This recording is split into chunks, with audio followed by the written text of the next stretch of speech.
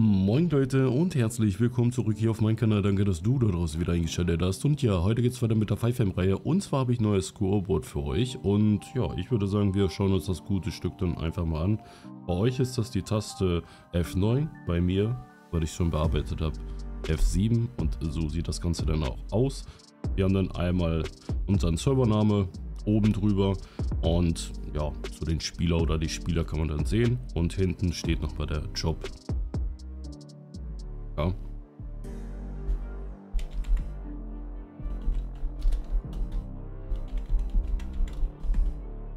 Wenn wir den jetzt wechseln, dann wechselt das Ganze dann hier auch wieder. Gut, mehr gibt es da auch nicht zu sagen. Ich würde sagen, wir kommen direkt zur Installation. Link wie immer unten in der Videobeschreibung einfach runterladen und einmal auspacken. Wenn wir das gute Stück dann ausgepackt haben, dann haben wir diesen Ordner hier und hier kopieren wir uns schon mal den Namen raus und gehen dann in den Resource-Ordner und ziehen einfach diesen Ordner in den Resource-Ordner rein. Und gehen dann zurück und gehen in die Server CFG oder in die extra CFG. Ich habe hier meine extra CFG und hier müssen wir das Ganze jetzt nur noch starten und speichern und schließen. Und jetzt müssen wir nur noch den Server neu starten und wir haben das Script schon erfolgreich installiert.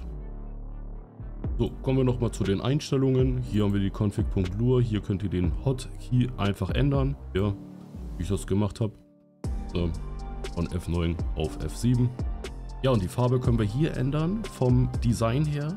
Ist alles mit RGB-Code. Ja, müsst ihr halt googeln. Und dann werdet ihr da auch was finden. Und das sieht dann halt so aus. Und da gibt es tausend verschiedene Möglichkeiten an Farben. Und dann könnt ihr euch das halt an eure Serverfarbe anpassen oder so. Je nachdem. Genau.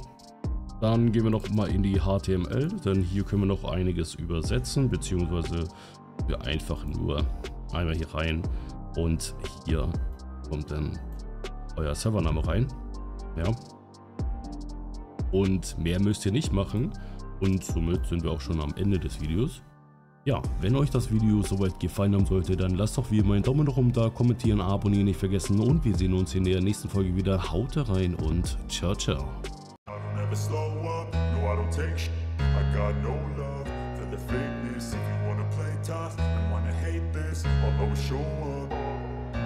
I don't ever slow up, no I don't take I got no